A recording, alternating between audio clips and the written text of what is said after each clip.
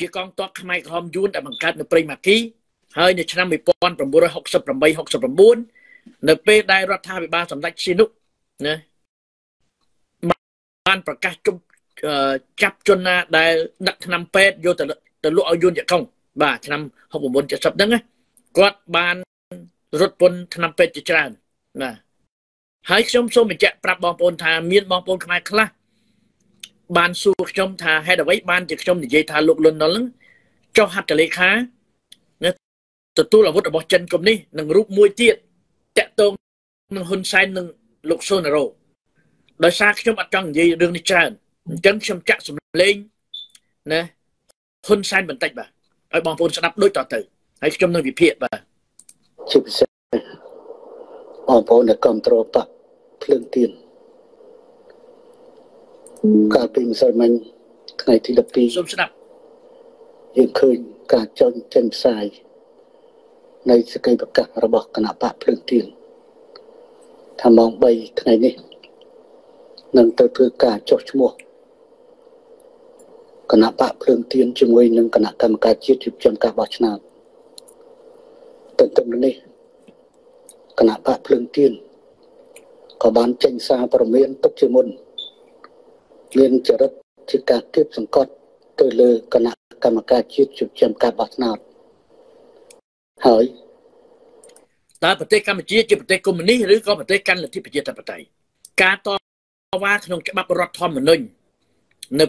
ពេលដែលកោជបោបណានៅក្រោមឥទ្ធិពលរបស់ហ៊ុនសែនអញ្ចឹងពេលដែលកោជបបានយកបញ្ជីឈ្មោះយកទៅដាក់ទីបំផុ តមានបញ្ហាតាក់ទងនឹងលោករងឈុនពេលដែលគេតវ៉ាហ៊ុនសែនបានប្រកាសកម្ចាត់កំទេចបងប្អូនស្ដាប់ដូចតទៅទៀតបាទក៏ជាការពមៀនទុកជាមុននៃការបង្កអស្ថិរភាពតាមរបស់ដែលហៅថាការតស៊ូមតិដោយសន្តិវិធីខ្ញុំសូមយកឱកាសការតស៊ូមតិដោយសន្តិវិធី ដោយអហិង្សាតើប្រទេសកម្ពុជា សប្តាហ៍ថ្ងៃជាប្រទេសកូរ៉េខាងជើងឬក៏របបកម្ពុជាប្រជាធិបតេយ្យឆ្នាំ70 576ដែលពេលនោះហ៊ុនសែនគឺជាមេឆ្លប់ហើយឆ្នាំ1975ហ៊ុនសែនក៏បានចូលទីក្រុង ហើយដេញប្រជាជនចេញពីទីក្រុងរហូតដល់ហ៊ុនសែនបានថតភាពយន្តរឿងកូនប្រុសក្រោមពន្លឺព្រះច័ន្ទតើហ៊ុនសែនច្បាំងជាមួយអ្នកណាជាមួយយួនយកុងជាមួយអាមេរិក ជាមួយចិនកុំនេះឬជាមួយអ្នកណា គឺច្បាំងជាមួយតាហ៊ានលោកលន់នល់ដែលជាអតីតចំណិតរបស់សម្ដេចស៊ីនុកដោយសារមើលឃើញថាយួនយកកុងបានក្បត់នឹងកិច្ចសន្យា មានគំនិតឆ្លៀនពៀនប្រទេសកម្ពុជាតាប់ចាប់តាំងពីឆ្នាំ1970តែឆ្នាំ1970វាទៅសម្ដេចស៊ីនុទៅលោកលន់នល់ឆ្នាំ1975វាទៅសម្ដេចស៊ីនុឆ្នាំ1979 វាទៅសម្ដេចស៊ីនុឥឡូវតាហ៊ុនសែននឹងយួននៅទៅអ្នកណា គឺលោកសំរៀងស៊ីនេះជំរាបជូនបងប្អូនជាទីស្រឡាញ់ថាមេដឹកនាំខ្ជិលខ្ជិលល្ងងហើយទម្លាក់កំហុសដាក់អ្នកដតីបាទមេដឹកនាំខ្ជិលខ្ជាធ្វើឲ្យបាត់កោះត្រល់ធ្វើ ឲ្យទឹកដីខ្មែររួញតូចធ្វើឲ្យប្រជាជនខ្មែរដែលគ្រាន់តែទៅមើលទោះដែនឲ្យប្រជាជនយួនសម្លឹកទោះដែនមង្គលទោះដែនមានស្លាប់ហោះពីត្បូងតលិចពីអានោះមកណែអាណាមួយដែលជាមេដឹកនាំល្ងងអាណាមួយដែលធ្វើឲ្យកោះត្រល់បាត់អាណាមួយដែលធ្វើឲ្យជនជាតិយួនចូលមកពីពេញប្រទេសកម្ពុជារហូត កាន់កាត់ខ្មែរខ្លាយជាឧត្តមសេនីយ៍ខ្លាយជាមន្ត្រីនៅក្នុងរដ្ឋាភិបាលណាណាអានឹងអាល្ងងឬក៏អាមិនល្ងងខ្វះការទទួលខុសត្រូវបើទោះបីចុះឈ្មោះបានឬមិនបានសូមបងប្អូនកុំចាញ់បោកហើយមកជាប់គុកឬស្លាប់ជុំរឿងអីគ្រាន់តែតវ៉ាអហិង្សាមកជាប់គុកឬស្លាប់អាណាជាអ្នកសម្លាប់អាណាជាចាប់ ជាអ្នកចាប់ដែលអ្នកតវ៉ាព្រោះនេះជារឿងបាក់បាទមិនមែនជារឿងរបស់រដ្ឋាភិបាលទេណាគឺជារឿងគណៈបកដែលសនិសិទ្ធទីក្រុងប៉ារីសណាដែលខ្មែរទាំងអស់គ្នាទម្លាក់អាវុធបាទដើម្បីចរចាគ្នារៀបចំប្រទេសបោះឆ្នោតដោយសន្តិវិធី ឆ្នាំ2013 2018រហូតដល់2023 2020បាទ23នេះ 2018ណាហើយបោះឆ្នោតនៅឆ្នាំ1990 supply ហ្នឹងពេលដែលគណៈបកហ្វិនពេចបោះឆ្នោតអាណាមួយ ដែលចង់បង្កើតឧបគមតើអាណាជាអ្នកច្បាំងណាដើម្បីកំចាត់គណៈបកដែលឈ្នះសូមស្ដាប់តទៅទៀតបាទជំនួសឲ្យមេដឹកនាំខ្ញុំសូមអំពាវនាវ ឲ្យបងប្អូនកុំចូលរួមសកម្មភាពណាមួយជាមួយនឹងមេដឹកនាំភ្លើងទៀនឲ្យសោះហើយក៏សូមបញ្ជាទៅគ្រប់អាជ្ញាធរគ្រប់ទីកន្លែងដែលមានសមត្ថកិច្ចមិនអនុញ្ញាតឲ្យមានការប្រមូលផ្ដុំប្រឆាំងជាមួយនឹងសម្ដាប់ថ្នាក់សាធារណៈដែលកម្ពុជាកំពុងតែធ្វើជាម្ចាស់ផ្ទះ បាទនេះជារឿងនយោបាយបងប្អូនជារឿងរបស់គណៈបកគេតវ៉ាបន្តិចតួចដោយសារគោជបជាអាយ៉ងរបស់ហ៊ុនសែនដោយសារគោជបមានលំអៀងនឹងក្នុងនៃនយោបាយហ៊ុនសែនចាត់តាំងខ្លួនជានាយករដ្ឋមន្ត្រីក្នុងគណៈបកប្រជាជនឥឡូវនេះដល់ពេលបោះឆ្នោតមិនមែនបានន័យថាឋានៈនាយករដ្ឋមន្ត្រីដែលអ្នកឯងកាន់កាប់នឹងនៅកាន់កាប់រហូតជាអមតៈទេមួយជីវិតទេអញ្ចឹងគេត្រូវតែមានការបោះឆ្នោត ដោយយុទ្ធធម៌បើគោជបធ្វើអ្វីមួយខុសនឹងអ្វីច្បាប់គោជបគេមានសិទ្ធិតវ៉ាបងប្អូនស្ដាប់មើលតវ៉ា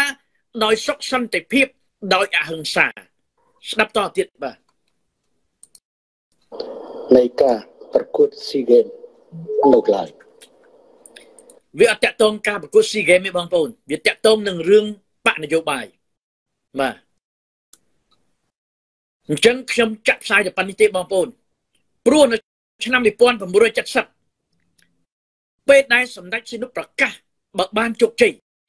នឹងសម្លាប់ឬក៏កំទេចឬប្រហារជនក្បត់សាធារណខ្មែរ10នាក់ការនោះមានលោកជេងហេងលោកអិនតាំលាក់នឹងលាក់តែទីបំផុតក្រោយថ្ងៃ17មេសា75ការកាប់សម្លាប់មួយបានកាត់មានឡើងណាតើស្លាប់អ្នកណា ស្លាប់ប្រជាពលរដ្ឋខ្មែររាជខ្មែរអ្នកក្រុងភ្នំពេញរាប់លានអ្នកចុះឥឡូវនេះពេលដែលហ៊ុនសែនប្រកាសបែបនេះតើមន្ត្រីអាជ្ញាធររបស់គណៈបកប្រជាជនវានឹងធ្វើយ៉ាងណានេះហើយជាចរិតដឹកនាំ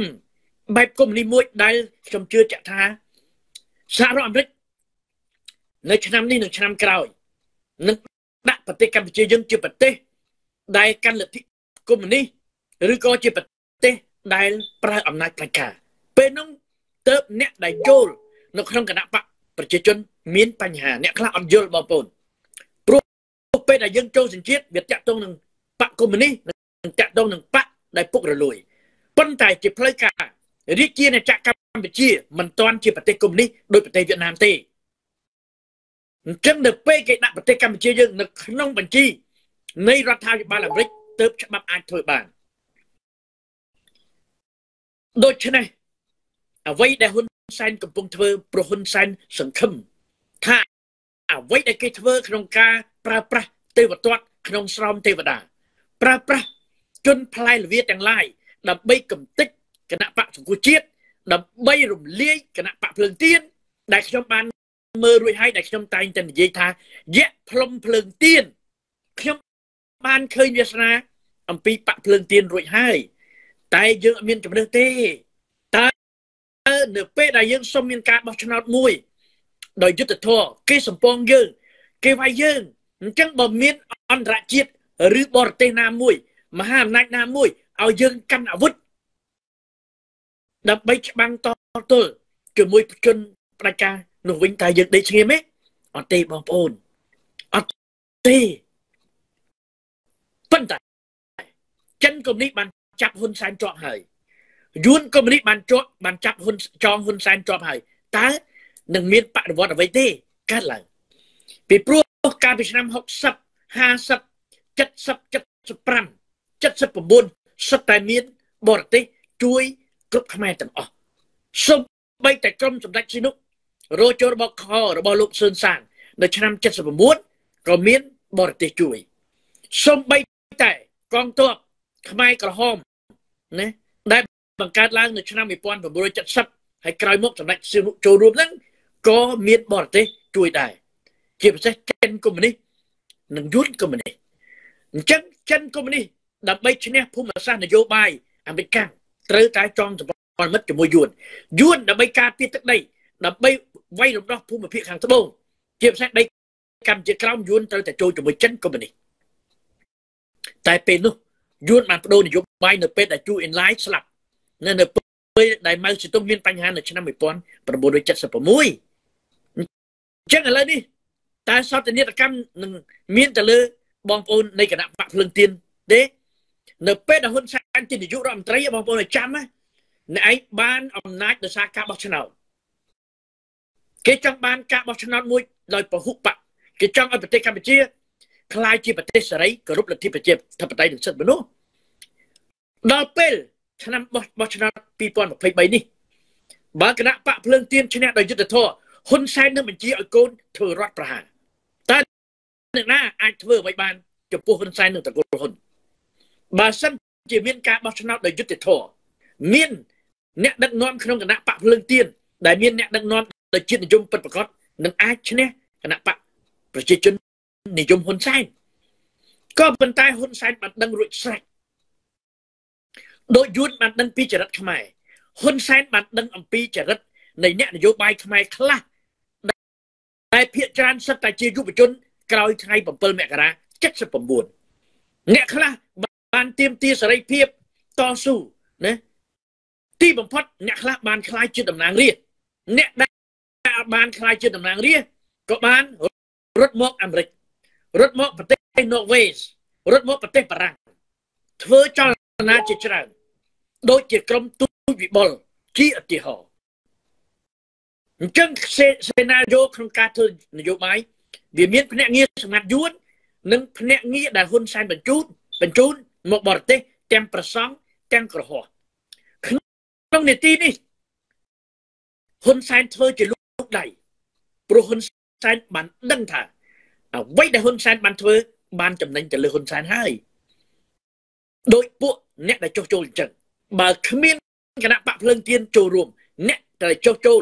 ក្នុងគណៈបកប្រជាជនជាផ្សេងមកពីគណៈបកភ្លើងទៀនភ័យខ្លួនហើយទៅបាទទីបំផុតអ្នកខ្លះនឹងคล้ายទៅជាក្រដាស់កិតអាចបើគ្មានគណៈបកភ្លើងទៀនតម្លៃអ្នកដែលចុះចូលមកក្នុងគណៈបកប្រជាជនអត់មានទេ តែនេះគ្ រាន់តែជាការគម្រាមកំហែងទេព្រោះហ៊ុនសែនចង់បានការបោះឆ្នោតមួយ ដែលហ៊ុនសែនយល់ឃើញថា គេនឹងប្រព្រឹត្តអំពើអយុត្តិធម៌ហើយនឹងឈ្នះគណៈបកទាំងអស់ជាពិសេសជាពិសេសគណៈបកភ្លឹងទៀនឥឡូវសូមបងប្អូនស្ដាប់តទៀតបាទ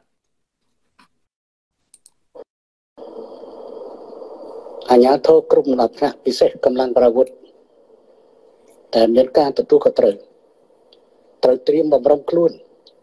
ដើម្បីចាប់យកក្បាលម៉ាស៊ីននៃមេដឹកនាំទាំងអស់ទាំងថ្នាក់ជាតិនិងថ្នាក់ក្រោមជាតិដែលហ៊ានចេញមុខអ្នកឯងចាប់ទៅអ្នកឯងសម្លាប់ទៅឲ្យឈាមខ្មៅខ្មែរហូចាប់ទៅសម្លាប់ទៅកំតិចទៅណាអ្នកឯងកំតិចទៅស្លាប់ទៅព្រោះអ្នកឯងរស់មកពោពេញដោយអំពើអាក្រក់ អ្នកឯងមានអំណាចតកូនតចៅដោយសារលក់ជាតិលក់ទឹកលក់ដីអ្នកឯងមានលុយរាប់រយលានដុល្លារដោយសារចូលដៃជាមួយពួកចិនកុម្មុយនីសនិងយួនអញ្ចឹងអ្នកឯងកំតិចទៅសម្លាប់ទៅឲ្យកំហឹងប្រជាជនកើតមានឡើងនៅថ្ងៃណាមួយឈប់កាន់បដាឈប់ទៅបោះឆ្នោតត្រូវតែកាន់អាវុធព្រោះអ្នកដែលចង់ច្បាំងគឺហ៊ុនសែនអ្នកដែលចង់ច្បាំងគឺហ៊ុនសែនបើឈ្នះ ណាដោយអង្គើយុទ្ធធម៌គឺគ្មានទេបងប្អូនហ៊ុនសែនអត់មានឈ្នះការបោះឆ្នោតដោយអង្គើយុទ្ធធម៌ទេដូច្នេះមន្ត្រីក្នុងគណៈបកប្រជាជនមិនមែនអត់អ្នកស្នេហាជាតិទេ គេបានតំណាក់តំណងជាមួយខ្ញុំជាច្រើនគេឈឺចាប់តែឥឡូវនេះឆ្នាំនេះយួនវាខ្លាចអ្នកណាគេហ៊ុនសែនខ្លាចអ្នកណាគេគឺខ្លាចលោកសំស៊ី បងប្អូនមើលទៅលោកសំស៊ីគាត់ធ្វើកិច្ចការបរទេសដាក់ទណ្ឌកម្មគាត់រីកការទីបំផុតធ្វើឲ្យហ៊ុនសែនក្តៅលោកសំស៊ីបាននិយាយរួចហើយការបោះឆ្នោតនោះគឺគឺគឺជាការបោះឆ្នោតដោយអយុត្តិធម៌គាត់មិនមែននិយាយដោយអត់ហេតុផលទេបងប្អូនគាត់ដឹងថាហ៊ុនសែននឹងធ្វើអ្វីហើយអញ្ចឹងអ្នកឯងកំតិចទៅសម្លាប់ទៅបើអ្នកឯង ប្រកាយសម្លាប់ខ្មែរសម្លាប់ទៅឈ្នះឈ្នះឈ្នះក្នុងធ្លុកឈាមខ្មែរធ្លុកឈាមអ្នកប្រឆាំងថ្ងៃណាមួយ កំហឹងបដិវត្តនឹងកាត់មានឡើងណាកំហឹងបដិវត្តនឹងកាត់មានឡើងព្រោះពេលនេះប្រជាជនខ្មែរឈឺចាប់ណាស់ដីផ្ទះសំបែងជីវិតរស់នៅរស់ដោយអណ្ដើកក្នុងភ្លើងដីស្រែចម្ការ នៅតាមទល់ដែនត្រូវទទួលរងអយុត្តិធម៌ដីផ្ទះណាបន្លែអ្វីអ្វីដែលជាកម្មសិទ្ធិរបស់បងប្អូនអ្នកក្រីក្រ នៅពេលដែលប៉ះការអភិវឌ្ឍរបស់ចិនកុម្មុយនីសរបស់តកៃយួនដែលមានការអនុញ្ញាតពីហ៊ុនសែនត្រូវបានកំទេចប្រជាជនយំគេមកឈប់ផ្ទះគេមកដេញសម្រាប់ខ្លួនហើយនៅយំអង្វរដេជោនិងប្រពន្ធដេជោឲ្យជួយណាអញ្ចឹងនៅ ពេលនេះយើងអហិង្សាយើងគ្រាន់តែទៀមទារយុទ្ធធរគេវាយសម្ពងយើង តែយើងគិតយ៉ាងម៉េចតើលោកសំរងស៊ីគិតយ៉ាងម៉េចនៅអហិង្សាដោះស្រាយបញ្ហាច្បាប់ជាមួយចោលឬយ៉ាងម៉េចនេះជារឿងរបស់គណៈបកប្រឆាំងដែលយួនវាខ្លាចតែលោកសំរងស៊ីម្នាក់ទេដែលហ៊ុនសែនវាខ្លាចតែលោកសំរងស៊ីតែម្នាក់តែប៉ុណ្ណោះ ហើយធ្វើនយោបាយសងសឹកគ្នាតែទីបំផុតផែនការយួននឹងបានសម្រេចបងប្អូនខ្ញុំសូមជម្រាបជូនបងប្អូនថាខ្ញុំធ្លាប់អានសៀវភៅដំណើរឆ្ពោះទៅទិសខាងលិចរបស់លោកនួនខឿននៅឆ្នាំ1973 74ខ្ញុំអត់ជឿគាត់ទាំងអស់នេះបងប្អូនខ្ញុំថាវាមិនដែរទេវាមិនដែរយួនណាមានដំណើរឆ្ពោះទិសខាងលិចឆ្នាំ2000នេះយើងមើលហើយយើងអត់ជឿព្រោះ ក្រោយសក់យើងឯករាជ្យរដ្ឋាភិបាលសម្ដេចជនុអត់បានឲ្យកូនសិស្សរៀនអំពីប្រវត្តិសាស្ត្ររឿងអាណានិគមបារាំងបានច្បាស់លាស់ទេជាពិសេសសតវត្សទី18នៅពេលដែលយួនសៀមបានកេងប្រវាញ់ទឹកដីយើង នៅពេលដែលបារាំងអាណានិគមបារាំងបាទនៅពេលដែលអាណានិគមបារាំងបានចូលមកទឹកដីខ្មែរយើងនៅទឹកដីកម្ពុជាក្រោមយើងបានសិក្សាច្បាស់ថាតើ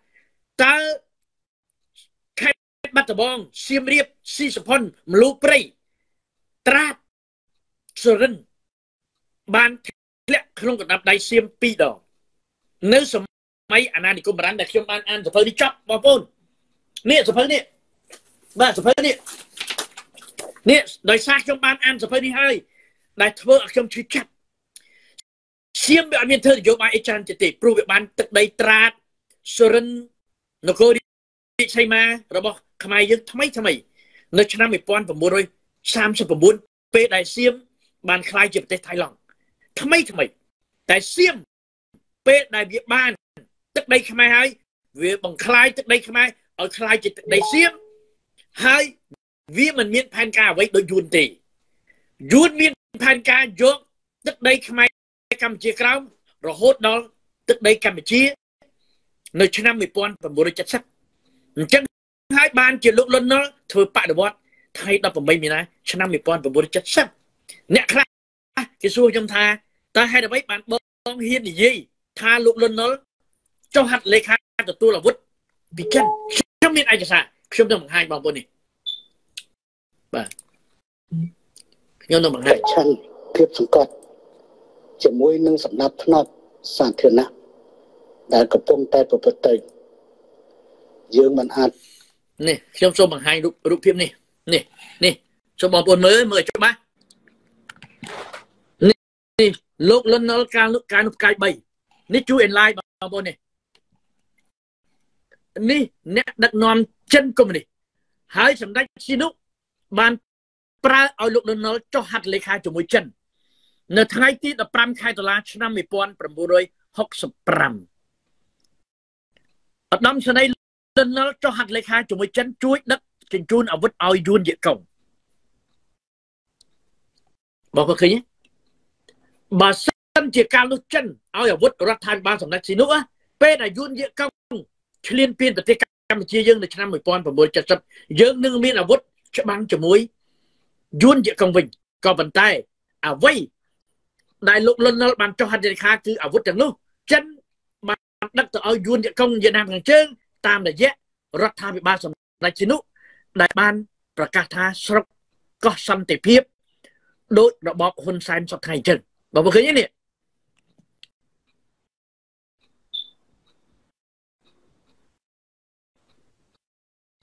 នេះដូចជា sustain ហ្វណងដែរហើយនេះនេះលោកលន់ណុលនេះ sustain ហ្វណងដែរណាបងប្អូន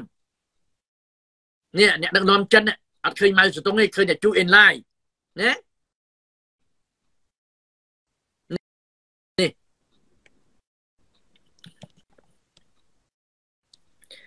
បានន័យថាក្នុងសម័យសម្ដេចស៊ីនុចិនបានបោកសម្ដេចស៊ីនុនៅពេលដែលសម្ដេចស៊ីនុជាស្ដេចណារបបរាជានិយមដែលជាសត្រូវនឹងពួកកុម្មុយនីសក៏ប៉ុន្តែចិនកុម្មុយនីសដើម្បីភូមិសាស្ត្រនយោបាយទប់ទល់ជាមួយអាមេរិកចិនបានដើរយុទ្ធសាស្ត្រជាច្រើនជាមួយសម្ដេចស៊ីនុដូចខ្ញុំតែងតែនិយាយចឹង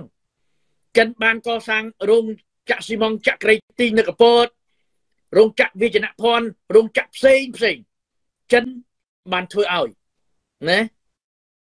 រហូតដល់រោងចក្រជាច្រើនដែលចិនបានជួយរបបសម្ដេចស៊ីនុនៅពេលដែលសម្ដេចស៊ីនុជាស្ដេចដែលសបាយដែលត្រេកត្រអាលដែលមានចំណេះវិជ្ជាមិនបានជាប់បាក់ដប់ផងដែលបារាំងយល់ឃើញថាយកមកប្រើប្រាស់ជាជាងស្ដេចក្រមព្រះមនីរ៉េតព្រោះស្ដេចក្រមព្រះមនីរ៉េតត្រូវសោយរាជជំនួសសម្ដេចស៊ីនុ ប៉ុន្តែបារាំងដឹងថាសម្ដេចស៊ីនុជាយុវក្សត្រមួយរូបដែលអាចបោកប្រើបានអញ្ចឹងអាយុនឹងវាចាំអមជាមួយនឹងបារាំងតែសំទោសអាយុនឹងវាចាំអមជាមួយនឹងចិនណាដើម្បីធ្វើយ៉ាងណាឲ្យបានចំណេញអាវុធនិងនយោបាយជាច្រើនពីចិនកុម្មុយនីសតាមរយៈរដ្ឋាភិបាលសម្ដេចឈិននោះដែលមានលោកលន់ណុល ជាសាក្សីណាហើយយួនមិនដែលអរគុណដល់រដ្ឋាភិបាលខ្មែរទេរហូតដល់សប្តាហ៍នេះ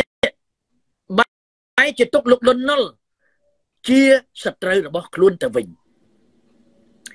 នេះជារូបលោកលន់ណុលដែលចុះហត្ថលេខាជាមួយចិនជួយដឹកជញ្ជូនអាវុធឲ្យយួនយេកុងនៅថ្ងៃទី15ខែតុលា ឆ្នាំ1965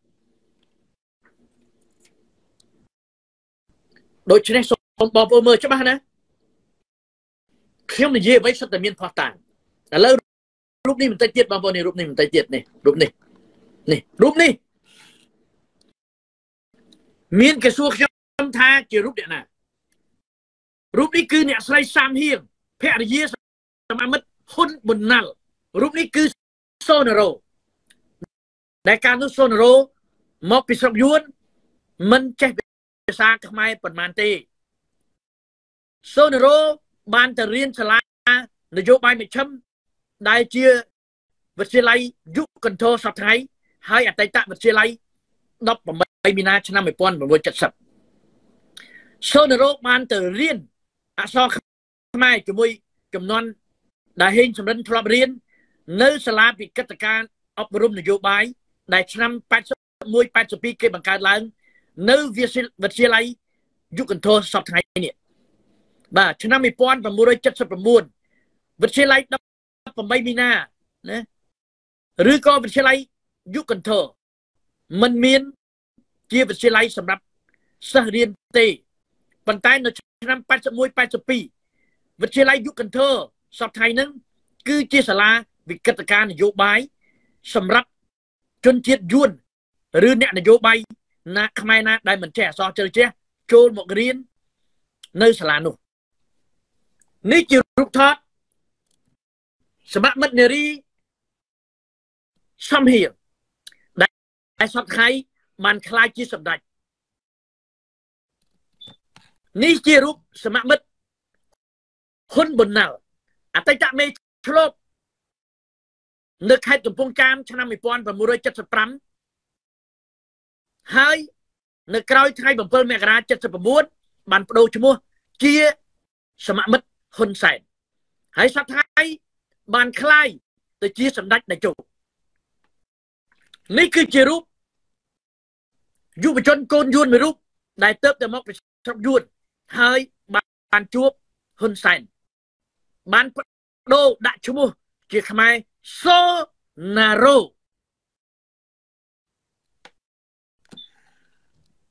ជាសម្ដេចស៊ីនុបើកភ្លើងខៀវឲ្យកងទ័ពដែលចូលមកក្នុងប្រទេសកម្ពុជាថ្ងៃ17មេសាសម្រាប់វរៈជនសាធារណរដ្ឋតែទីបំផុតការស្លាប់គឺប្រជាពលរដ្ឋខ្មែរឥឡូវនេះការកំទេចការវាយសម្ពងការចម្លាប់គឺគណៈបពប្រឆាំងអញ្ចឹងសម្លាប់ទៅអ្នកឯងប្រកែសម្លាប់កំទេចទៅ នៅពេលដែលប្រជាជនខ្មែរគណៈបពប្រឆាំងកាន់បដាអហិង្សា សំសិទ្ធរស់នៅនៅសំសិទ្ធបោះឆ្នោតតវ៉ាកោចបអ្នកឯងសំពងអ្នកឯងវាយគេដល់ពេលដែលខ្មែរត្រូវកាន់អាវុធដូចឆ្នាំ1970ដល់ពេលដែលខ្មែរកាន់អាវុធដូចឆ្នាំ1979អ្នកឯងកុំបន្ទោសគេណាកុំហឹងឈឺចាប់មួយនឹងខាត់មានឡើងដែលខ្ញុំមិនចង់បានឥឡូវអត់កម្រើទេបងប្អូនបោះឆ្នោតចិត្ត30 40ឆ្នាំគេប្រើនយោបាយអាក្រក់ធ្វើបាបយើង តំណាងរាត្រូវគេធ្វើបាបណាត្រូវគេសំពងក្បាលត្រូវគេបាត់បិទប៉ាសពតត្រូវគេយកតឡាការមកមិនឲ្យធ្វើនយោបាយយើងសំងំយំយើងសងំរត់មកនៅបរទេសយើងសងំយ៉ាងឈឺចាប់អញ្ចឹងណាសូមបងប្អូនខ្មែរស្ដាប់ខ្ញុំមកច្បាស់ណាខ្ញុំមិនមែននិយាយនេះបំបះបំបោប្រជាជនខ្មែរណាដូច គេចោទលោកសាច់ជាថាញុះញង់ទេ តែខ្ញុំអាចនិយាយបានព្រោះខ្ញុំមិនមានបំណងអ្វីនៅធ្វើនយោបាយក្នុងប្រទេសកម្ពុជាទេ តែខ្ញុំមានសិទ្ធិនិយាយក្នុងនាមខ្ញុំជាខ្មែរមួយរូបដែលជាខ្មែរមិនកុំនេះហើយបានរងគ្រោះដោយរបបកុម្មុយនីសឥឡូវនេះខ្ញុំបានឃើញហ៊ុនសែនមិនបានធ្វើឲ្យប្រទេសកម្ពុជា ជាប្រទេសគោរពលទ្ធិប្រជាធិបតេយ្យគោរពសិទ្ធិមនុស្សទេហ៊ុនសែនបាននាំប្រទេសទៅសេពគប់ជាមួយចិនកុម្មុយនីស ដូច្នេះក្នុងនាមខ្ញុំជាខ្មែរមិនកុម្មុយនីសធ្លាប់ចូលបម្រើចលនាមិនកុម្មុយនីសខ្ញុំត្រូវតែបញ្ចេញទស្សនៈណាអាណាចូលជាមួយហ៊ុនសែនចូលទៅហើយអាអ្នកចូលហ្នឹងបើគណៈបកភ្លើងទៀនអត់បានធ្វើនយោបាយប្រយ័ត្នខ្លួនមែនទេព្រោះបើសិនជាគណៈបកភ្លើងទៀនអត់បានត្រូវធ្វើនយោបាយពេលនោះហើយកលែងត្រូវការអ្នកឯងហើយប៉ុន្តែហ៊ុនសែនគ្រាន់តែគម្រាមទេបងប្អូនគ្រាន់តែគម្រាមទេ គណៈបកភ្លើងទៀននៅតែបោះដដែលប៉ុន្តែហ៊ុនសែនសង្ឃឹមរួចហើយព្រោះហ៊ុនសែនបានទិញក្បាលពួកជនផ្លែលវាខ្លះនៅក្នុងគណៈបកប្រឆាំងរួចហើយនៅអាថ្នាក់លើលើណាដោយគណៈបកជាតិខ្មែរដោយគណៈបកសិទ្ធិមនុស្សជាជាដើមវាអាចហ៊ុនសែនបើកភ្លើងខៀវឲ្យពួកទុយបលធ្វើគណៈបកណាតូចមួយដើម្បី ឲ្យคล้ายជាគណៈបកផ្សិតពុលជំនួសគណៈបកភ្លើងទៀនហើយហ៊ុនសែននឹងប្រើប្រាស់មនុស្សដែលនៅក្នុងគណៈបកសិទ្ធិមនុស្សដែលនិយមកម្មសខាឲ្យធ្វើនយោបាយដែលខ្ញុំបាននិយាយរួចហើយបន្តិចទៀតហ៊ុនសែននឹងបញ្ចេញយិនស៊ីណតនឹងបញ្ចេញពួកដែលខាងខ្លងគណៈបកសិទ្ធិមនុស្សនិងលោកកម្មសខាចេញមកធ្វើនយោបាយបើអត់មានគណៈបកភ្លើងទៀនក៏អត់ទៅឃើញទេនេះជាសេណារីយ៉ូដែលដែលហ៊ុនសែនចង់បាន អញ្ចឹងបើយើងទៅបោះឆ្នោតយើង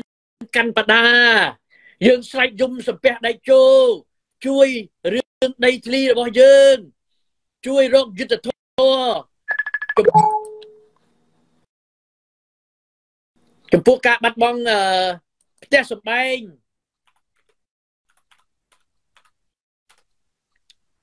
ចំពោះការបាត់បង់ផ្ទះសម្បែងប៉ុន្តែអត់មាន ការដោះស្រាយអ្វីទាំងអស់ដោះស្រាយតាមការបោះឆ្នោត គេសម្ពងគេវាយគេធ្វើបាបគេចាក់ដាក់គុកប្រពព័ន្ធតឡាការប្រព័ន្ធគ្រប់ទាំងអស់ PM បលិទាហាននៅក្រោមបកតែមួយអញ្ចឹងតើយើងទៅធ្វើយ៉ាងម៉េចណាយើងត្រូវធ្វើយ៉ាងម៉េចយើងត្រូវទៅបោះឆ្នោតកំដរនយោបាយរបស់ហ៊ុនសែនយឺឬយើងនាំគ្នាតវ៉ា គ្រាន់តែយើងចង់តវ៉ាដោយអហិង្សាគេបញ្ជាឲ្យអាជ្ញាធររបស់គេសំពងវាយបំបែកយើងបាត់ទៅហើយអញ្ចឹងតែយើងត្រូវធ្វើយ៉ាងម៉េចណាត្រូវធ្វើយ៉ាងម៉េចកាន់អាវុធប៉ុន្តែក៏យើងត្រូវរងចាំឱកាសដែរពីព្រោះដូចខ្ញុំនិយាយមិញអញ្ចឹងយួននឹងចិនវាចាប់ហ៊ុនសែនជាប់ហើយអត់មានអាណាធ្វើការទៀតទេព្រោះអ្នកដែលបង្កើតអសន្តិសុខសង្គ្រាមនៅប្រទេសកម្ពុជា នៅនៅឆ្នាំ1970គឺចិនកុម្មុយនីសនិងយួនកុម្មុយនីសអាមេរិកកាំងគ្រាន់តែជួយយើងទេអញ្ចឹងបងប្អូនគិតទៅដែលខ្ញុំប្រើពាក្យគេយកដាច់ជោបោះឆ្នោតឲ្យសំរងស៊ីគេយកគណៈបកប្រជាជននិយមហ៊ុនសែនបោះឆ្នោតឲ្យភ្លើងទៀនត្រូវរក្សាជីវិតឲ្យបានរស់សងសឹក20ឆ្នាំក៏មិនទាន់យឺតពេក យល់កលៈទេសៈទៅខ្លាយជាវរៈជនអ្នកនយោបាយពិតប្រកបគ្មានមិត្តពិតប្រកបហើយក៏គ្មានសត្រូវជាអចិន្ត្រៃយ៍ដែរបើហ៊ុនសែនជាអ្នកនយោបាយហ៊ុនសែនមិនកំសាកហ៊ុនសែនត្រូវអនុញ្ញាតឲ្យគូបដិបកដៃគូរបស់ខ្លួនដែលជាជើងខ្លាំងតែខ្ញុំនិយាយម្ដងហើយម្ដងទៀតជាពិសេសលោកសំស៊ីឲ្យមកមកអ្នកឯងប្រើនយោបាយកម្ចាត់គណៈបកភ្លើងទៀនទិញ ណាបង្កើតភាពចុះចូលជាច្រើនអ្នកឯងមានប្រជាជនយួនជួយអញ្ចឹងឲ្យលោកសំស៊ីមកបើសិនជាគាត់ចាញ់ក៏ចាញ់ល្អមើលដែរហើយចាំមើលពេលហ្នឹងអាអ្នកជ័យយោដេចចូលហ្នឹងទៅបោះឆ្នោតឲ្យណាគេណាចាំមើលមើលបាទឥឡូវនេះខ្ញុំសូមចាក់ការសម្ភាររបស់លោកជុនច័ន្ទបុតជាមួយលោកសំស៊ីតិចបាទ តែបងប្អូនខ្លះបានស្ដាប់បាទដល់វិទ្យុអាស៊ីសេរីជាលើកទី2នេះតាមពិតយើងបាយគ្នាយូរហើយធ្លាប់តែបានសម្ភាសតាមប្រព័ន្ធទូរស័ព្ទឥឡូវនេះបានអញ្ជើញមកផ្ទាល់តែម្ដងអាដាមខ្ញុំបានដឹងថាអាដាមមកនេះមកធ្វើជាវាគ្មិនកិត្តិយសឬមួយក៏ជា panelist នៃកិច្ចប្រជុំអន្តរជាតិមួយដ៏ធំដែលរៀបចំឡើងដោយអង្គការមួយឈ្មោះថា CSIS ដែលមានឈ្មោះពេញថា Center for Strategic International and Study ក៏ប៉ុន្តែអាដាមក៏នឹងជួបអ្នកមុខអ្នកការនៅសហរដ្ឋអាមេរិកនេះផងដែរហើយជាពិសេសអាដាមកំពុងតែយកចិត្តទុកដាក់ខ្លាំងអំពីសេចក្តីស្នើច្បាប់ដែលបដួយផ្ដើមដោយសមាជិកព្រឹទ្ធសភាសហរដ្ឋអាមេរិកច្បាប់នោះមានចំណងជើងថា Transnational Repression Policy Act ដែលបកប្រែជាភាសាអង់គ្លេសយកបកប្រែជាភាសាខ្មែរថាច្បាប់ដើម្បីទប់ស្កាត់ ការគម្រាមកំហែងឆ្លងដែនហើយច្បាប់នេះមានតាមពិតយើងធ្លាប់លោកមានរឿងធ្លាប់ឡើងបកស្រាយម្ដងរួចមកហើយក៏ប៉ុន្តែខ្ញុំចង់ឲ្យអាដាមជួយបកស្រាយបន្ថែមទៀតតើតើច្បាប់នេះវាអាចមានផលប៉ះពាល់បែបណាដល់លោកនាយករដ្ឋមន្ត្រីហ៊ុនសែននិងក្រុមមន្ត្រីរបស់លោកដែលហើយនឹងអ្នកដែលឃោសនិករបស់លោកឯជាដើមដែលតែងតែគម្រាមកំហែងប្រជាពលរដ្ឋដោយផ្ទាល់ឬមួយតាមប្រព័ន្ធអនឡាញនឹងតើតើប៉ះពាល់ដល់ពួកគាត់បែបណាហើយតើប្រជាពលរដ្ឋខ្មែរដែលរស់នៅសហរដ្ឋអាមេរិកនេះជាពិសេសបើសិនជាច្បាប់នេះកើតឡើងមកថាតើពួកគាត់នឹងអាចការពារពួកគាត់បានបែបណាខ្លះបាទហើយក្រៅពីនេះខ្ញុំបានក៏នឹងសម្ភាសមួយចំនួនទៀតទាក់ទងទៅនឹងច្បាប់មួយចំនួនដែលជាប់គាំងយើងដឹងហើយថាមានច្បាប់ដាក់ច្រើនណាស់ដើម្បីជួយកែលម្អប្រជាធិបតេយ្យជួយលើកស្ទួយសិទ្ធិមនុស្សនៅប្រទេសកម្ពុជាក៏ប៉ុន្តែដែលហេតុថាមានបញ្ហា COVID-19 ផងមានបញ្ហានេះបញ្ហានោះផងទៅច្បាប់នោះក៏ជាប់គាំងហើយខ្ញុំបានដឹងថាច្បាប់នេះក៏គេនឹងចាប់ផ្ដើមសាររឿងឡើងវិញដែរប៉ុន្តែជាដំបូងចង់ឲ្យអាដាមរៀបរាប់អំពីច្បាប់អឺ Transnational Policy Act នេះបន្តិច Transnational Repression Policy Act នេះបន្តិចដែលមានចំណងជើងអឺកាត់គេហៅថា S 831នេះបាទសូមជួយអាដាមនិយាយឲ្យខ្លីច្បាប់សូមមកជិតមីក្រូហ្វូនបន្តិចណានិយាយដោយខ្លីច្បាប់ដែលកំពុងតែរៀបចំនៅរដ្ឋសភានិងព្រឹទ្ធសភាសហរដ្ឋអាមេរិកនោះគឺដើម្បីដាក់ទោស លើភ្នាក់ងារដែលលោកហ៊ុនសែនបញ្ជូនមកសហរដ្ឋអាមេរិកនិងលើបពពួកលោកហ៊ុនសែនដែលរស់នៅសហរដ្ឋអាមេរិកអ្នកដែលធ្វើតាមបញ្ជាលោកហ៊ុនសែននោះគឺមកគម្រាមកំហែងជនជាតិខ្មែរដែលរស់នៅសហរដ្ឋអាមេរិកហើយគម្រាមកំហែងរហូតទៅដល់បងប្អូនជនជាតិខ្មែរដែលរស់នៅសហរដ្ឋអាមេរិកតែបងប្អូនទាំងនោះរស់នៅប្រទេសកម្ពុជាសហរដ្ឋអាមេរិកមិនអនុញ្ញាតទេ ឲ្យជនផ្ដាច់ការប្រើភ្នាក់ងារនិងប្រើបពពួកគាត់មកគម្រាមកំហែងជនជាតិខ្មែរដែលរស់នៅសហរដ្ឋអាមេរិកអ្នកទាំងនោះនឹងមានទោសហើយអញ្ចឹងហើយបានយើងអបអរសាទរច្បាប់នេះដែលនឹងធ្វើឲ្យពួក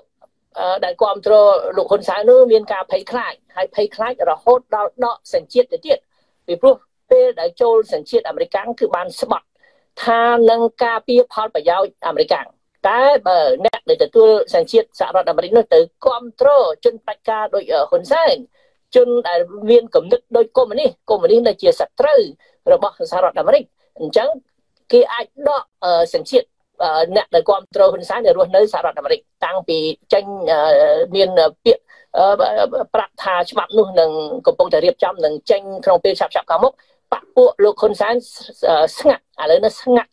ភ័យខ្លួនណាភ័យខ្លួនពីព្រោះនៅសហរដ្ឋអាមេរិកมันអាចធ្វើបាបប្រជាពលរដ្ឋស្លូតត្រង់ដូចនៅប្រទេសកម្ពុជាបានទេ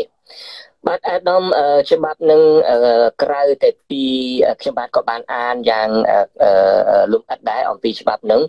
គេបានលើកឡើងតាំងតែពីការដែលមិនមែនតែគម្រាមកំហែងដោយផ្ទាល់ទេ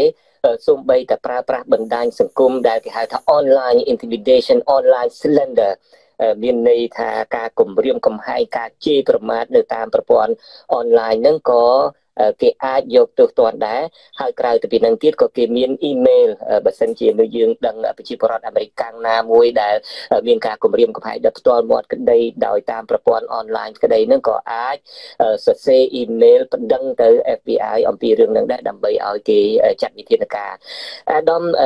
ខ្ញុំបាទផ្ទាល់មានបទពិសោធន៍ច្រើនបទពិសោធន៍ទៅជួបប្រជាពលរដ្ឋហើយទៅសម្ភាសដែលយើងជាអ្នកកសែតហើយអ្នកខ្លះមកសម្ភាសហើយព្រមសម្ភាសហើយហើយ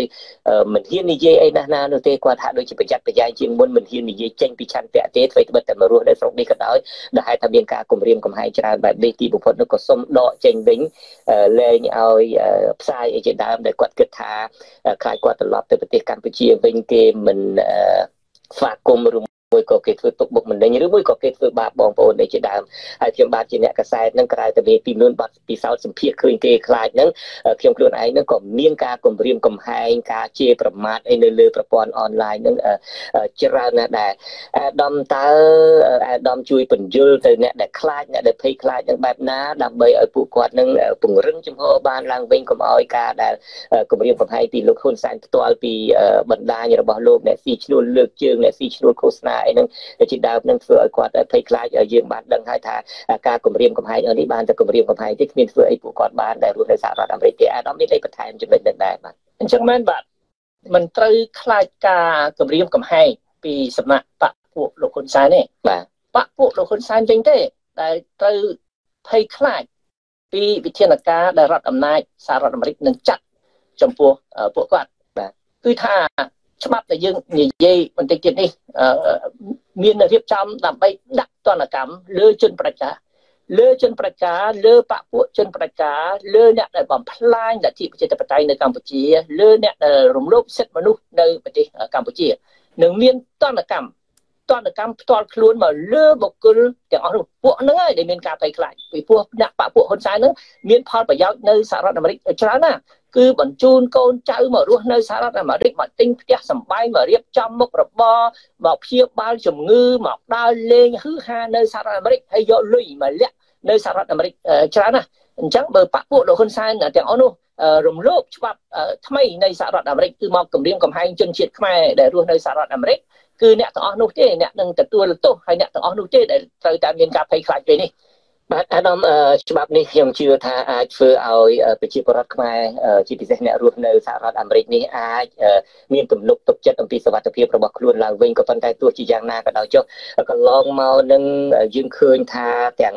តំណាងរាស្ត្រទាំងព្រឹទ្ធសភាអាមេរិកកាំងនឹងធ្វើសេចក្តីស្នើច្បាប់នឹងម្ដងហើយម្ដងទៀតក៏ប៉ុន្តែហាក់ដូចជាមិនទាន់បានចេញសោះនៅជាប់ទាំងតើបើតាមការដែលអាដាមសំរេស៊ីបានជួបតំណាងរាស្ត្រឬជួបព្រឹទ្ធសភានៅនេះនឹងតើច្បាប់សេចក្តីស្នើច្បាប់ថ្មីនេះគឺ S 831នេះឬមួយក៏ច្បាប់ទប់ស្កាត់ការគម្រាមកំហែងឆ្លងដែននេះអាចនឹងចេញរួចទេពីព្រោះតាមពិតនឹងវាមិនមែនមានន័យត្រឹមតែទប់ស្កាត់ក្រមលោកហ៊ុនសែននោះទេច្បាប់នេះមានសុពលភាពទូលំទូលាយមានន័យថាគ្របដណ្ដប់ពីការទប់ស្កាត់របស់របបផ្ដាច់ការដទៃទៀតមានប្រទេសចិនមានរុស្ស៊ីអីជាដើមដែលហេតុថាវាមានសភាពប្រសិទ្ធភាពគ្របដណ្ដប់វែងឆ្ងាយទូលំទូលាយបែបនេះអាចនឹងចេញរួចទេអាដាម គេយល់ហើយថាត្រូវតែចេញឲ្យបានឆាប់ចំពោះប្រទេសកម្ពុជា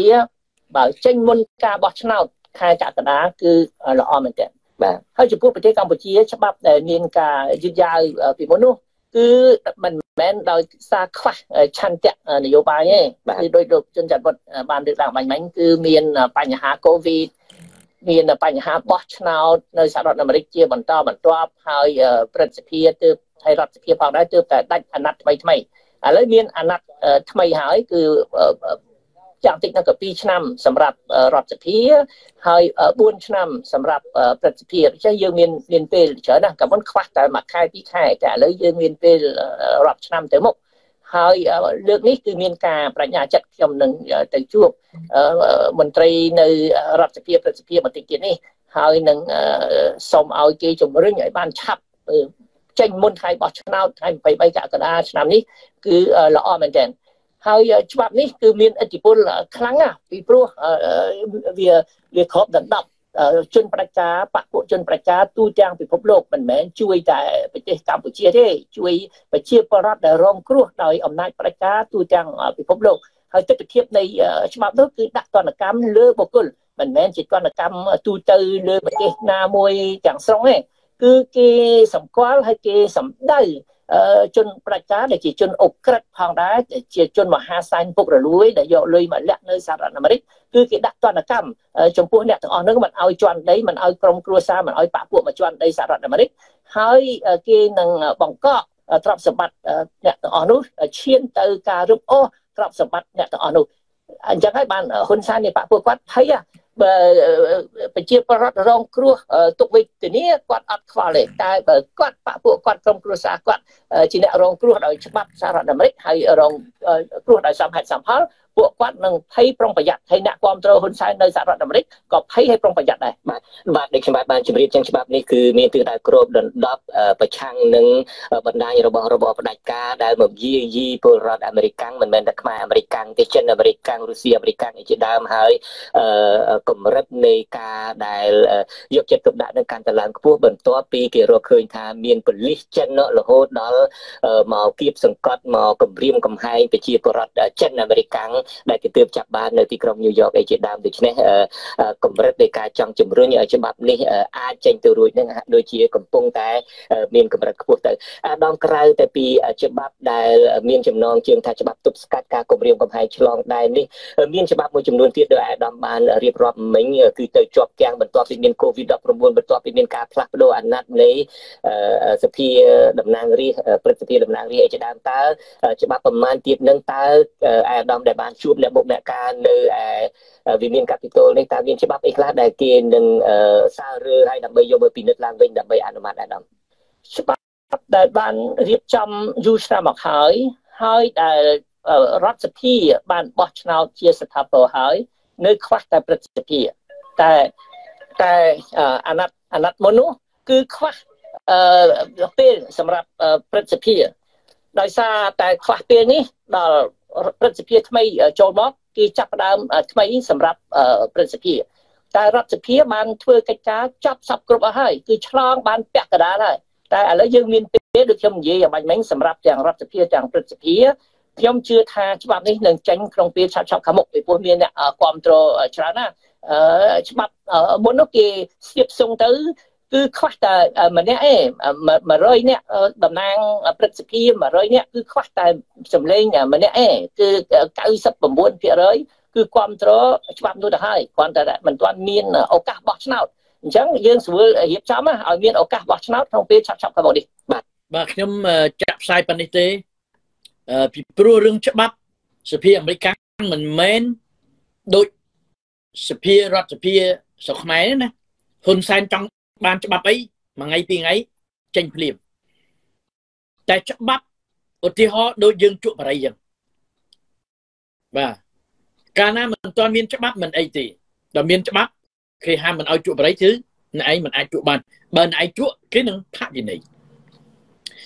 ហើយរឿងច្បាប់នៅអាមេរិកវែងឆ្ងាយណាស់បងប្អូនវែងឆ្ងាយណាស់នៅពេលដែលស្រុកយើងមិនទាន់មានរឿងអ្វីអត់អីទេ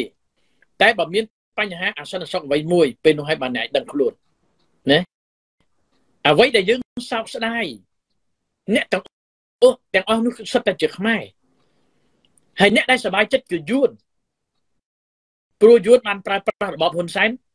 ដើម្បីសម្រាប់ខ្មែរអ្នកជាតិនិយមនៅក្នុងនឹងវាមានភ្នាក់ភ្នាក់ងារសម្រាប់យួននិងភ្នាក់ងាររបស់ហ៊ុនសែនតែអាខ្លះវាធ្វើឲ្យយួនតែវានៅជាមួយហ៊ុនសែនកម្មឱកាសណាដែលហ៊ុនសែនកំចាត់ អ្នកស្នេហាជាតិចប់ពេលនោះហើយដែលវាកំតិចហ៊ុនសែនអញ្ចឹងហើយបានដែលខ្ញុំជម្រាបជូនបងប្អូនពេលដែលខ្ញុំអានសភៅដំណើរឆ្ពោះទៅទិសខាងលិចរបស់លោកសាស្ត្រាចារ្យនួនខឿនហ្នឹងខ្ញុំអត់ទាន់ជឿទេឥឡូវគឺជាការពិតហើយក្រោយស្រុកយើងឯករាជ្យសូម្បីតែរឿងប្រវត្តិសាស្ត្របងប្អូននៅប្រវត្តិសាស្ត្រខ្មែរយើងនៅសតវត្សទី18ពេលដែលសៀមណា សម័យអាណានិគមបារាំងពេលដែលសៀមបានយកខេត្តបាត់ដំបងពីរដងណាឆ្នាំ1800ផ្លាយឆ្នាំ1939ពេលដែលសៀមវាដូរជាប្រទេសថៃយើងអាចបានរៀនទេបងប្អូនយើងរៀនតែ ប្រវត្តិសាស្ត្រអំពីស្ដេចអំពីភូមិសាស្ត្រដែលគេហៅថា historio history និង geography ហ្នឹងយើងរៀនតែ ប្រវត្តិសាស្ត្រពីរឿងសម័យចេនឡាសម័យអង្គរសម័យឧដុង្គ តែយើងបានសិក្សាជំរឿពីអ្វីដែលកើតឡើងកាលពីសតវត្សទី18 19ពេលដែលយើងបាត់បង់កម្ពុជាក្រោមពេលដែលយើងបាត់បង់ខេត្តត្រាតខេត្តសរិនយើងបានសិក្សាគ្រាន់តែឮថារហូតដល់មានបញ្ហាព្រះវិហារណាព្រោះដីព្រះវិហារហ្នឹងដីខ្មែរយើងមិនមែននៅហ្នឹងទេនៅនោះគឺជារបស់ខ្មែរយើង តែសៀមកាលនោះវាខុបខិតជាមួយបារាំងអាណានិគមបារាំងយករហូតដល់ស៊ីសផុនបាត់ដំបងសៀមរាបរហូតដល់កាលនោះខ្មែរយើងគ្រាន់តែមានសិទ្ធិទៅនេសាទនៅបឹងទលេសាបទេណា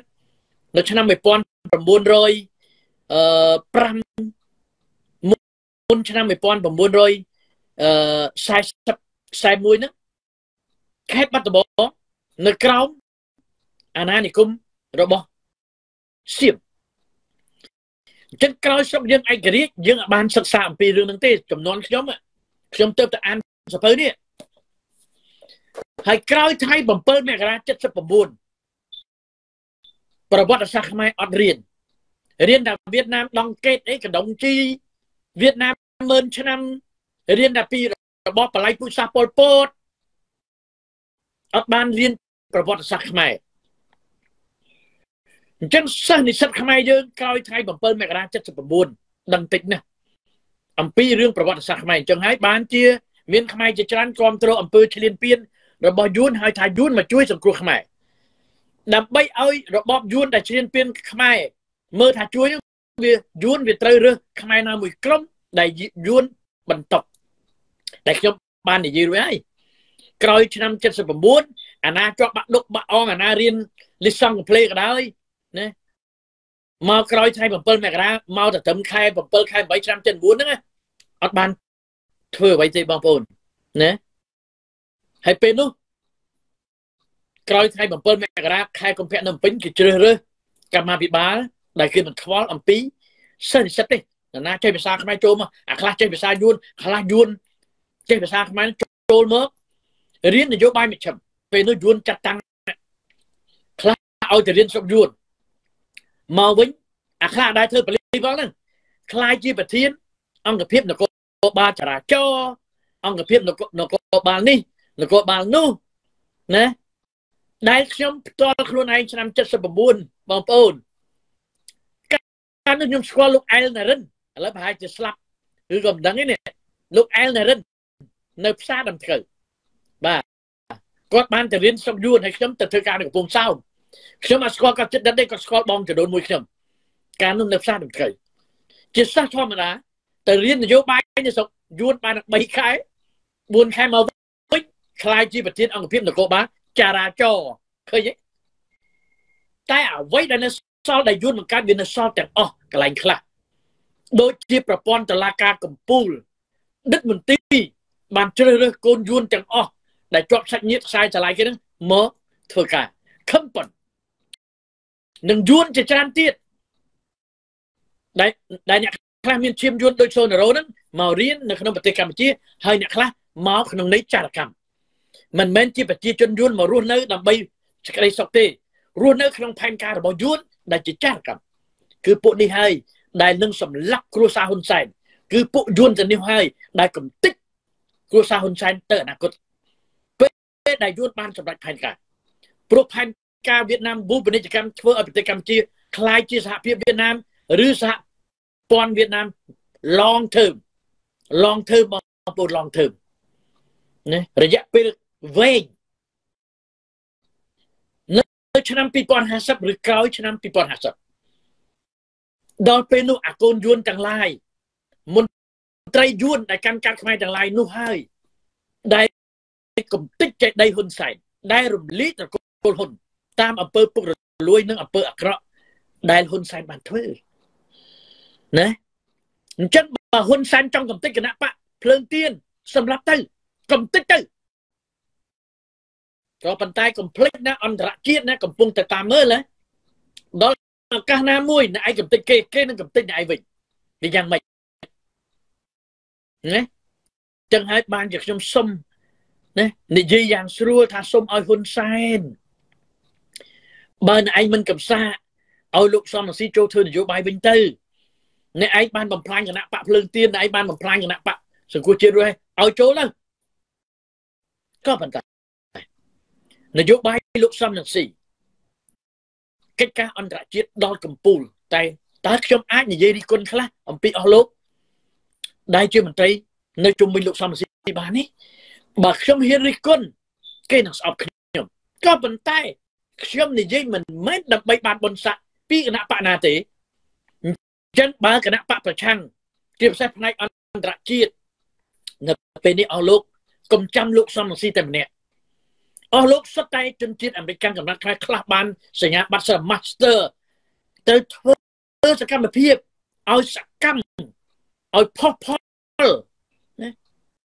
ទៅតំណាងរាជមិនមែនចាំបាច់តលោកសំរងស៊ីមក ពឹងទៅលើគាត់ម្នាក់ទេ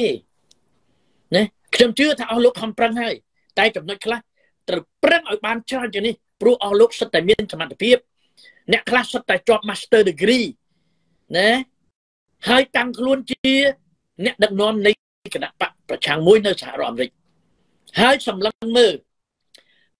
ហេតុអ្វីបានជាមានការបែកបាក់នៅក្នុងប្រទេសកម្ពុជា ជាពិសេសគណៈបកភ្លឹងទៀននៅខេត្តបាត់ដំបងមើលមើល យើងជាគណៈបកប្រជាធិបតេយ្យតើយើងមានសិលធម៌សច្ចធម៌និងយុទ្ធធម៌ទេហេតុអីបានជាមានការចាស់ចុះចូលអញ្ចឹងបើអ្នកចុះចូលទាំងអស់យើងយល់ថាអាក្រក់យើងត្រូវតែបរឹងបកយើងឲ្យមានសេចក្តីក្លាហានមានសិលធម៌មានសច្ចធម៌និងមានយុទ្ធធម៌នៅអាណាចូលអាណាចូលទៅតែយើងបរឹងបករបស់យើងត្រូវទៀមទាសុំឲ្យលោកថច្សិថាចេញពីពន្ធនាគារជាពិសេស អស់លោកគណៈបកភ្លើងទៀននៅអាមេរិកត្រូវតែធ្វើសកម្មភាពយ៉ាងខ្លាំងមិនមែនទៅដើម្បីចាវធ្វើការជាមួយហ៊ុនសែនបានប្រហែលកៅអីក៏ធ្វើទេ គឺទៅធ្វើការបដូរផ្លាស់របបហ៊ុនសែនអញ្ចឹងបើយើងទៅធ្វើដើម្បីរួមជាមួយហ៊ុនសែនដដែលអ្នកខ្លះក៏ចូលបំរើហ៊ុនសែនតែម្ដងទៅតែខ្ញុំសូមផ្ដាំឲ្យផ្ដាំទៀតអស់លោកដែលចុះចូលទៅក្នុងគណៈបក ប្រជាជនរបស់ហ៊ុនសែនឥឡូវឥឡូវនេះរហូតដល់បោះឆ្នោតគេមិនទុកឲ្យអស់លោកនៅស្ងៀមទេណាអស់លោកមិនអាចមានឆន្ទៈលើខ្លួនឯងបានទេកាលណាអស់លោកចូលបម្រើគណៈបកប្រជាជនគេត្រូវការអស់លោកជាកំបិតកាប់សម្ពងគណៈបកដែលអស់លោកធ្លាប់ស្រឡាញ់ទីបំផុតគេនឹងបង្ខ្លាយអស់លោកឲ្យខ្លាយជាกระดาษកាត់អាចតែប៉ុណ្្នឹងទេ បើអស់លោកដែលចោះចូលនឹងស្អប់អំពើអយុត្តិធម៌នាំមន្ត្រីក្នុងគណៈបកប្រជាជនធ្វើអំពើយុត្តិធម៌ទៅបើអាចធ្វើបានតែខ្លាចក្រែងអស់លោកខ្លាចទៅជាឧបករណ៍នយោបាយរបស់គេរួចហើយជាស្រោមអនាម័យជាស្រោមក្តោហើយគេនឹងបោះចោលនិយាយអាក្រក់ចោះឬអ្នកខ្លះជាក្រដាស់គិតលាមកចឹងអស់លោកដែលចោះចូលនៅក្នុងគណៈបកប្រជាជនសូមកុំឲ្យខ្លួន ខ្លាយជាក្រដាស់គិតលាមកឬស្រោមអនាម័យរបស់គេព្រោះអស់លោកសុទ្ធតែមានឧត្តមកតេជាតិណាបើគេប្រើលំលំបានហើយនាំគ្នាឃោសនាអំពីគណៈបកដែលអស់លោកចោះចូលនឹងថាល្អចំណែកគណៈបកប្រឆាំងត្រូវតែស្រឡឹងមើលថាតើយើងមានសិលធម៌សច្ចធម៌យុទ្ធធម៌ទេតែយើងមានលទ្ធភាពនឹងទៀមទាឲ្យអនុប្រធានបកដូចជាលោកថាច់ជីថាចេញមកវិញទេ បើយើងគ្មានសមត្ថភាពនឹងធ្វើឲ្យ ប្រធានយើងអនុប្រធានយើងចេញពីពន្ធនាគារតើយើងអាចដោះស្រាយជូនប្រជាជនបានទេនេះជាចំណុចមួយដែលយើងត្រូវគិតពេលដែលហ៊ុនសែនគម្រាមកំហែងតើយើងគួរតែខ្លាចទេ នៅពេលដែលយើងប្រសិទ្ធយើងជាអហិង្សាជាពិសេសលោករងឈុនឥឡូវគាត់ធ្វើហើយគាត់តវ៉ានៅមុខកោចបោបន្តិចទៀតតឡាការអាយ៉ងហ៊ុនសែននឹងរករឿងលោករងឈុនរករឿងទៅសម្លាប់ទៅ ជាពិសេសចៅក្រមតឡាការទាំងឡាយអ្នកឯងអាចយន់ហ៊ុនសែនអ្នកឯងអាចធ្វើឲ្យបានតាមចិត្តតែថ្ងៃណាមួយក៏ដូចព្រឹត្តិការណ៍ឆ្នាំ1970ដែរក៏ដូចព្រឹត្តិការណ៍ថ្ងៃ17មេសា75ក៏ដូចជាព្រឹត្តិការណ៍ឆ្នាំ1979 no choice បើច្បាប់អន្តរជាតិអាចកំតិចអាចមានសុពលភាពទៅលើបកប្រជាជនយើងនឹងអាចធ្វើ តែខ្ញុំសូមបញ្ជាក់ប្រាប់បងប្អូនថាច្បាប់នេះមិនទាន់ចេញទេមិនទាន់អនុម័តបាន100%ជាច្បាប់ទេគ្រាន់តែជាគម្រោងហើយច្បាប់ប្រហែលថ្ងៃប្រហែលខែមុនបាទដែលតាក់ទងរឿងបង្កក់ត្រកសម្បត្តិហ្នឹងវាដល់សភាអាមេរិកហើយវានៅតែដល់ព្រឹទ្ធសភាហើយនឹងបញ្ជូនទៅលោកប្រធាននៃបដីអាច្បាប់មុនណាឥឡូវអាច្បាប់ក្រោយទៀតពីព្រោះប្រព័ន្ធច្បាប់នៅស្រុកអាមេរិក មិនមែនជាការងាយស្រួលដូចសភានិងព្រឹទ្ធសភាស្រុកខ្មែរទេហ៊ុនសែនចង់បានថ្ងៃនេះស្អែកឡើងបានហើយនៅអាមេរិកអត់ទេបងប្អូនណាវាធ្វើតាមដំណាក់កាលដំណាក់កាលរបស់គេតែបើសិនជាបានចេញច្បាប់នោះក៏ដូចលោកសំនឹងស៊ីមានប្រសាសន៍អញ្ចឹងហើយនៅពេលដែលគេចាត់ទុកប្រទេសកម្ពុជារាជាណាចក្រកម្ពុជាមិនមែនជាប្រទេសគោរពលទ្ធិប្រជាធិបតេយ្យគឺជាប្រទេសដែលទទួលទទួលអន្តពលអន្តពលកុម្មុយនីឬក៏ប្រទេស ដែលគ្រប់គ្រងដោយអ្នកប្រជាការជាផ្លូវការពេលនោះហើយទើបយើងធ្វើពួកនោះបានដូចខ្ញុំឧទាហរណ៍នេះស្តាមានក្រុមខ្មែរបកប្រជាជនមួយក្រុមជាពិសេសមានប្រធានគណៈបកប្រជាជននៅជិត Rochester ដែលជាអតីតនិស្សិតនៅសាលាពាណិជ្ជសាស្ត្របានធ្វើកិច្ចការកុងស៊ុលឲ្យរបប ហ៊ុនសែនទទួលលុយរាប់ពាន់ដុល្លារពីក្រសួងការបរទេសហ៊ុនសែនពេលដែលមានច្បាប់ហ្នឹងចេញមកយើងអាចសួរថាតើជននោះដែលជាប្រធានគណៈបកប្រជាជន នៅរដ្ឋមនីស្តាហ្នឹងទទួលលុយរបស់ហ៊ុនសែនមែនទេមួយខែប្រហែល5000មែនទេពេលហ្នឹងបើមានសេចក្តីរាយការណ៍ទោះបីយើងប្រកែកយ៉ាងណាក៏ដោយអរគុណអាដាមដែលបានបកស្រាយពីបញ្ហានេះក្រសួង INS អាមេរិកគេនឹងតាមបានណាណែឯងទទួលលុយពីក្រសួងការបរទេសពីទូតខ្មែរនៅ Washington DC មែនដែរឬទេណាពេលហ្នឹងគេចាប់ប្រើមើលបងប្អូនគឺតាមបានតែឥឡូវច្បាប់នឹងអត់ទាន់ចេញជាធរមានវាមិនអីទេអ្នកចូលសញ្ជាតិដោយសារសុំជ្រកកោនយោបាយក៏ដោយនៅក្នុង form ដែលឯងសុំនឹងមាននៅក្នុងក្រសួង Homeland Security ទាំងអស់សុំបីតែរូបខ្ញុំពេលដែល ចេញពីជំរំនៅឆ្នាំ1980ហ្នឹងមានទាំងអស់បងប្អូន record បាទសំណុំរឿងណាអ្វីអ្វីដែលយើងឆ្លើយកាលយើងនៅជំរំខៅដាងជំរំជនភៀសខ្លួនជំរំតស៊ូនៅទាំងអស់ដូចអ្នកឯងជក់បរិយចឹងគេថាកុំជក់នាំឲ្យកើតរបេងនាំឲ្យមានជំងឺគ្រឿងញៀនគេថាកុំជក់នាំឲ្យមានបញ្ហាពេលយើងជក់ភ្លាមមិនមែនប្រកាច់ឆ្លាប់ទេ ផឹកស្រាក៏អញ្ចឹងដែរយើងជក់បរិយមិនមែនប្រកាច់ឆ្លាប់ទេយើងជក់គ្រឿងញៀនក៏មិនមែនប្រកាច់ប្រកាច់ឆ្លាប់ដែរតែនៅទីបំផុតវានឹងទទួលលទ្ធផលចឹងបើច្បាប់នោះមានជាធរមានមានអ្នកប្តឹងគេនឹងតាមដានអ្នកនោះជាពិសេសអ្នកដែលមករស់នៅអាមេរិកដោយសារច្រកកោននយោបាយ